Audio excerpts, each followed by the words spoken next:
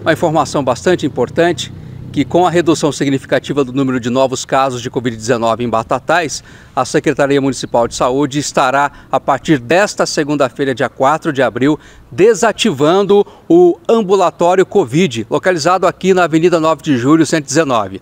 Em nota, a secretária Bruna Tonetti agradeceu o Claretiano Centro Universitário, que cedeu as instalações desse prédio na 9 de julho para atender a população durante os últimos meses.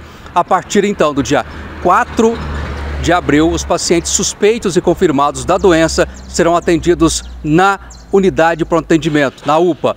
E os funcionários aqui do ambulatório serão direcionados para novos postos de atendimento. O gráfico atualizado pela Secretaria Municipal de Saúde, com dados semanais até o dia 25 de março deste ano, demonstra a redução da contaminação pela Covid-19 em Batatais. Nas últimas quatro semanas, os números estão se mantendo baixos, caindo de 159 para 81 casos Apesar dessa redução significativa, a vigilância epidemiológica segue solicitando que a população fique atenta para as convocações da campanha de vacinação e que mantenha os cuidados de higiene. Informações que fazem a diferença no seu dia a dia, a Rádio Claretiana FM.